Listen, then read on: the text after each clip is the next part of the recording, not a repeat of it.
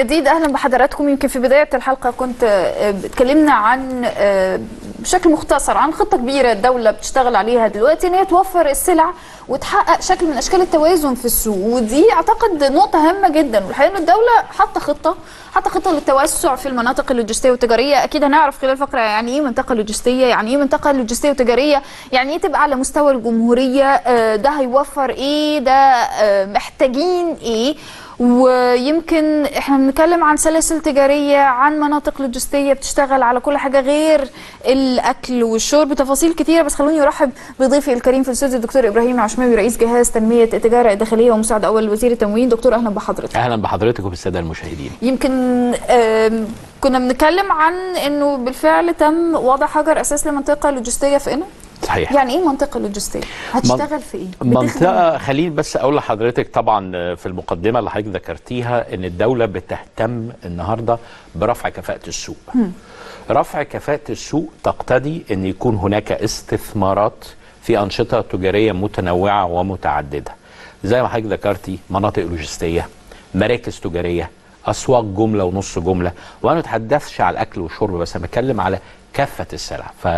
فوزاره التموين والتجارة معنية بجزئين توفير السلع الأساسية للمستهلك أو لجمهور المستهلكين وأن يكون لدينا احتياطي آمن من السلع يكفي احتياجات المواطن لفترات طويلة الأمد. هذا شق الشق الآخر هو رفع كفاءة السوق وزيادة حجم المعروض من سلع. عشان أزود المعروض من سلعه لازم يكون عندي إتاحة لازم يكون عندي منافذ تسوق كثيرة وكبيرة. ما هياش فقط في القاهرة إنما في كل محافظات الجمهورية. كان يؤخذ آه، في الفترة الماضية إن معظم الاستثمارات والافتتاحات بتكون في القاهرة الكبرى. وكانت المحافظات محرومة من هذه الأنماط التجارية وهذه الاستثمارات. الجديد في الأمر إن إحنا ابتدينا نتوجه إلى كافة المحافظات آه، في الجنوب جنوب آه، مصر وفي شمال مصر وفي دلتا مصر فأصبح عندنا زي ما أنا بسميها تنمية مستدامة إن التنمية والاستثمارات ليست قاصرة فقط على تمركز في منطقة معينة. كان زمان لو تفتكري حضرتك عندنا مخازن يعني لو أنا عندي آه، آه، منفذ بيع لأي منتج بيبقى فيه مخزن مش كده؟ ده في السابق. المخزن النهارده تطور لحاجة اسمها منطقة لوجستية. فالمخازن في العرف والثقافة القديمة تم تحديثها انها تكون منطقة لوجستية. منطقة لوجستية هي محور ربط ما بين المصنع والمستهلك. طيب بتلاقي مصنع بينتج منتجات. طب المنتجات دي بتخزن فين؟ كانت في مخازن. الجديد اللي إحنا قلنا عليه بقت منطقة لوجستية. المنطقة اللوجستية دي بقى فيها إيه؟ تصنيع وفرز وتعبئة وتغليف وتسعير وصناعات مغذية أخرى. فما بقاش مكان يتحط فيه البضاعة إنما بيحصل بروسيسنج لهذه البضاعة أو لهذه السلع. فمثال. عملية كاملة يعني. فانت لو حضرتك مثلا بتجيبي من ال- الفارم أو من المزرعة طماطم. بتاع بيحصل إيه للطماطم ديت؟ لو نقول إن الطماطم ديت بتنتج في محافظة زي محافظة قنا كانت بتروح على سوق العبور في القاهرة عشان تتفرز وتتعبى وتتعمل صلصة وترجعي تاني تبيعها فين؟ قنا. في قنا فأنت كده عملتي إيه للسلعة؟ فسحتيها وديتيها من قنا للقاهرة. 100 إيد في النص على. الطريق ماشية حلقات هالك. التداول كبيرة. الفاقد والهالك كبير. تكلفة النقل كبيرة. طبعا. فالمنطقة اللوجستية هي محور ارتكاز وبنية. ولبنة أساسية في منظومة التجارة. عشان نقدر إن إحنا نوفر السلعة بمستويات سعرية مقبولة للمستهلك. فالمناطق اللوجستية هي بتعمل اختزال لمراحل تداول السلع عشان السلعة تصل إلى المستهلك أسرع وأكفأ وأفضل وأقل. أقل. الاختزال أو عملية الاختزال في الطريق وفي الهالك وفي ال... في الإيد اللي في النص كمان من تاجر الوسطاء لتاجر. اللي أنا بسميهم حلقة. الوسطاء. تحديدا حلقة الوسطاء. بتعمل إيه في السعر بقى؟ دي بتقلل الأسعار بنسب بقى كبيرة جدا. يعني اديكي مثال برضو. وأنا وأنا بقرب الأمثلة للأكل والشرب لأن إحنا انت عارفة ثقافة بتحب الأكل والشرب. ده أقرب لينا فعلا.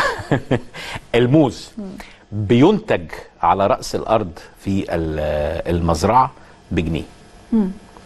وبعد كده يوصل سعره للمستهلك النهائي ب 7 جنيه 8 جنيه 10 جنيه في بعض المناطق الراقية ب 15 آه جنيه. طبعاً. مش كده؟ وهو طالع بكام؟ بجنيه. بجنيه. شوفي بقى السلعة ديت اتمد ليها كام ايد دخل فيها كام وسيط والسعر بتاعها اتضرب في 10 و12 مرة.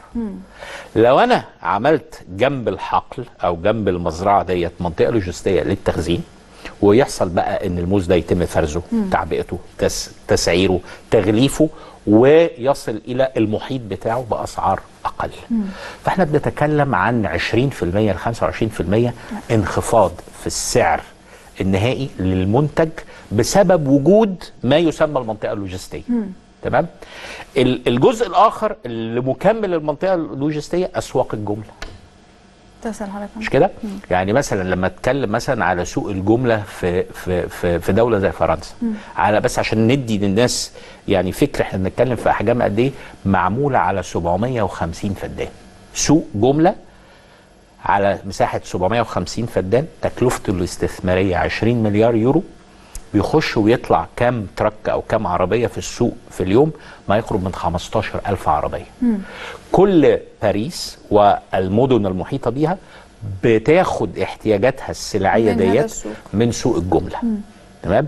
فسوق الجملة هو مكمل للمنطقة اللوجستية. لما أنا أتكلم بقى على حلقات التداول فأنت عندك المنتج وعندك المنطقة اللوجستية وعندك أسواق الجملة وعندك ممكن أسواق جملة للملابس. عندك اسواق جملة للإلكترونيات عندك اسواق جملة بس في. هذه المناطق. عندك اسواق جملة مثلا لمواد البناء. وبعد كده عندك المنافذ في صورة بقى سوبر ماركت أو hyper markets. وبعد كده عندك المستهلك. هي متكاملة يا فندم من صناعة لغاية المنفذ. بالظبط. وفي النص في طبعا سوق الجملة. آم، عايزة أسأل حضرتك طب ده محتاج مساحة قد إيه في كل محافظة؟ وإحنا حجر الأساس اتحط في قنا إحنا بقى رايحين فين؟ ده ده سؤال عظيم جدا. إحنا عملنا إيه؟ عملنا خريطة استثمارية لأنشطة التجارة في مصر. فأنا عارف النهارده كل محافظة احتياجاتها عايزة إيه؟ عايزة كام سوق وعايزة كام منطقة لوجستية وعايزة كام مركز تجاري وعايزة كام سلسلة بيعية وعايزة كام منفذ بيعي. والخريطة دي عملناها بناء على مجموعة من المؤشرات الاقتصادية. فدرست كل محافظة من حيث الكثافة السكانية القوى الشرائية متوسط الدخل ومتوسط الإنفاق. وقدرنا نعرف إن كل محافظة محتاجة إيه؟ بناء على ما هو قائم وبناء على ما هو مستهدف. وقدرنا نقول إن مثلا محافظة زي قنا محتاجة منطقة لوجستية واحدة. محافظة زي اسكندرية محتاجة اتنين منطقة لوجستية. حسبنا الحسبه في الآخر لقينا إن إحنا محتاجين 54 منطقة لوجستية على مستوى جمهورية مصر العربية. على مستوى 27 محافظة أنا عايز كم منطقة لوجستية؟ 54 منطقة لوجستية. تمام؟ إحنا النهارده فين بقى؟ بعد سنتين من ال- الخريطة الاستثمارية النهارده بنتكلم على 18 مشروع منهم 11 منطقة لوجستية. بالفعل ابتدوا في الشغل ولا لسه؟ ابتدوا الشغل. يعني ال ال الشهر الجاي في سبت أنا بتكلم على سبتمبر هنفتتح منطقة لوجستية تجارية في الغربية. الشهر اللي وراه هنفتتح منطقة لوجستية في البحيرة. وبيبدأوا العمل على طول يا دكتور. بياخدوا وقت. يعني برضو أقول لحضرتك على الاستثمارات. يعني المنطقة اللوجستية التجارية اللي في الغربية في طنطا ديت حجم الاستثمارات فيها 7 مليار جنيه. المنطقة اللوجستية اللي وضعنا حجر الأساس فيها في قنا بنتكلم على حجم استثمارات من واحد ونص إلى 2 مليار جنيه. أنا عايزة أرجع لحضرتك يا دكتور في هذه النقطة هل كلها قطاع خاص ولا آه، قطاع عام وكيفية الاستثمار؟ يعني إزاي أهل البلد يستثمروا في هذه ده المناطق سؤال عظيم. آخر. اللوجستية؟ طب بعد فاصل يا دكتور تسمح لي فاصل. قصير وهيكون لنا عودة. اتفضلوا